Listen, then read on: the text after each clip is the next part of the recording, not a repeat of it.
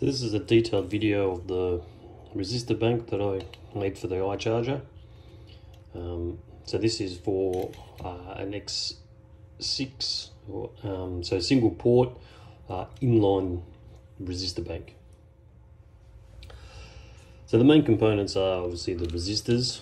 Um, these are 100 watt 1 ohm resistors. You can see that pretty good. Um, that's just some 100 gauge wire. Uh, it says just a copper wire. And the wire itself pretty much feeds into the hole of the resistor.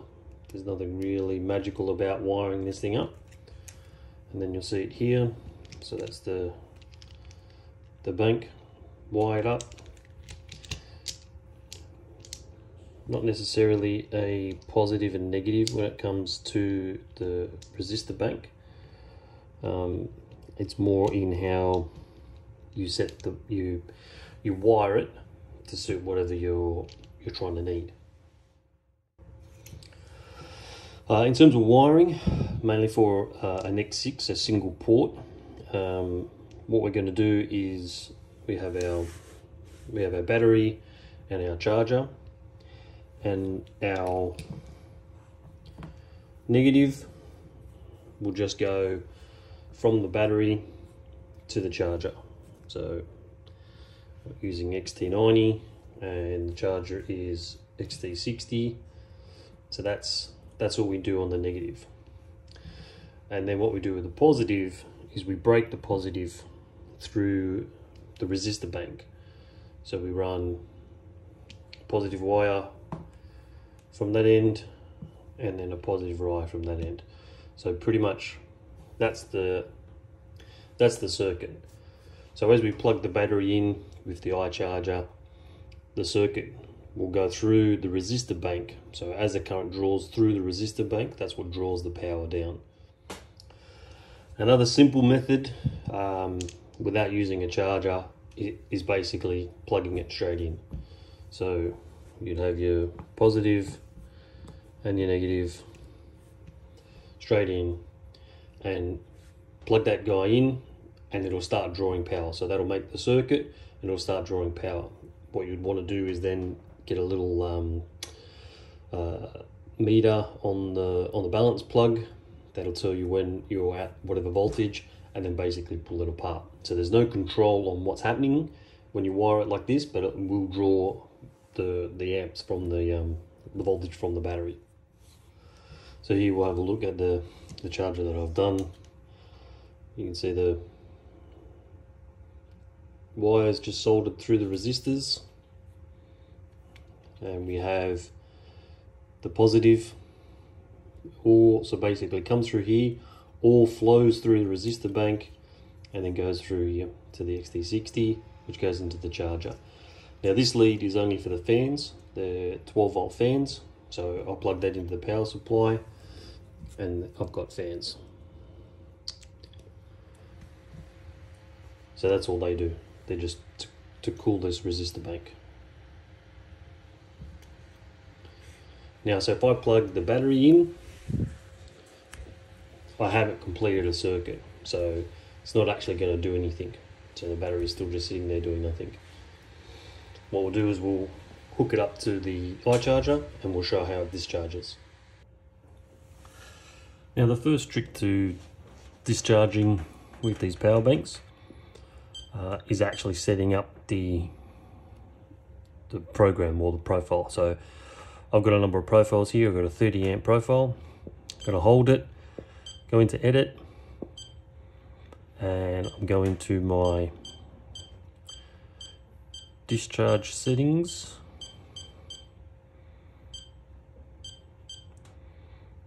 So discharge, uh, set my discharge current. So I'm going to aim for, for 30. Uh, what I'm going to discharge down to. So this is not storage, this is discharging. So I'm going to basically dump the battery as hard as I can. Uh, regenerative mode off. And if I go into advanced, I'm going to have extra discharge enable. So this is going to make the charger pull more uh, as it's expecting to have a some form of bank or some form of resistance to, to pull that extra charge. So the, normally these things will discharge at two something amps. With the resistor banks, it'll get up to close to 30. All right, so now my discharge is, is set to extra discharge. Uh, and there we go. So plugging it all in, basically plug the battery in like so, nothing special. Uh, we run our balance lead.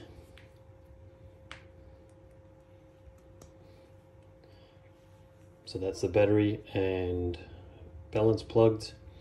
Our discharger into the port. So now we have our positive going through the discharger all the way through each of the resistors uh, and then into the iCharger and then back into the battery. So that's the that's the main circuit. Right, and the other thing is these things will will start to get warm. So I run a little 12 volt fan. So whatever you can to keep it cool. So now it's cooling. Right, so give you a bit of an idea what happens to these guys. Um, let's see where it's at now.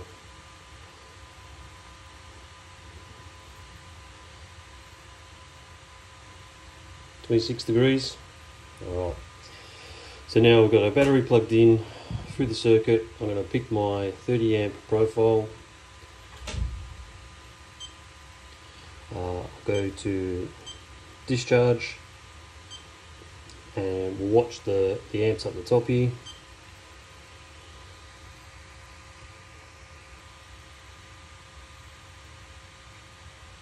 Twenty-seven amps, twenty-six. So now that's pulling.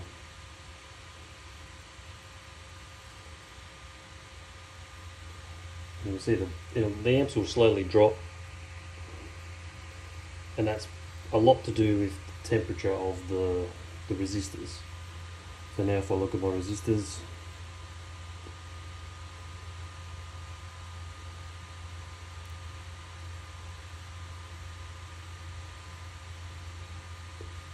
So these things are just going to keep heating and those um, that amperage is going to drop.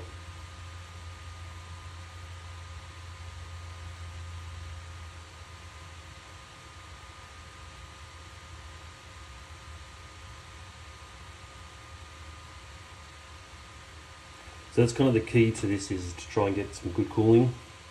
Uh, the cooler it is, the efficient they are, because pretty much all these things is doing is producing heat. That's what's that's what's discharging the battery.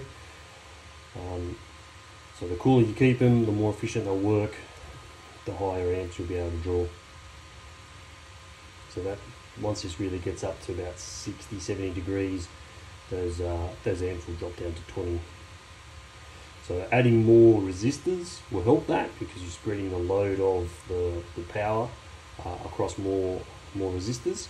So you they all won't heat as much uh, and then allow you to keep up more amps.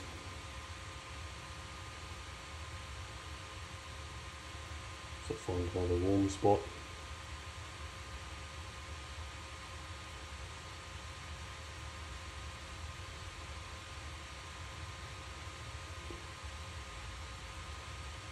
But yeah, that's that's pretty much it. Um, the main thing is what we get out of this is we we help pull down our IR on the battery. So once we cycle this battery, we charge it, we discharge it. It'll it'll help with the resistance of the battery as well.